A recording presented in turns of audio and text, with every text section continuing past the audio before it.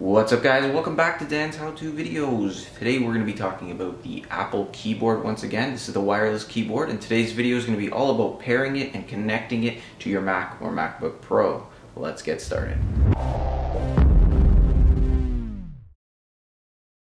Now to set up your wireless keyboard, what you need to do first is open up your system preferences. Now this can be found in your Launchpad or you can simply do a spotlight search for it.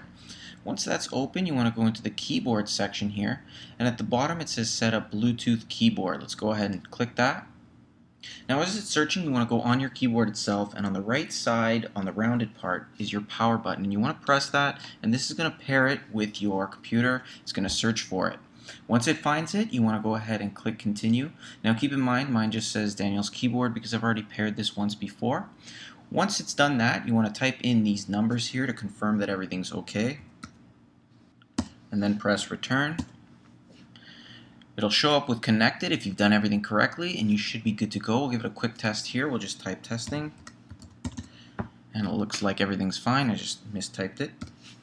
Anyway, everything looks good. Now if you want to rename your keyboard, the only thing you need to do is go into Bluetooth here, go into the keyboard itself, and then from this little settings drop-down menu here, you go to rename, and you can call it whatever you want.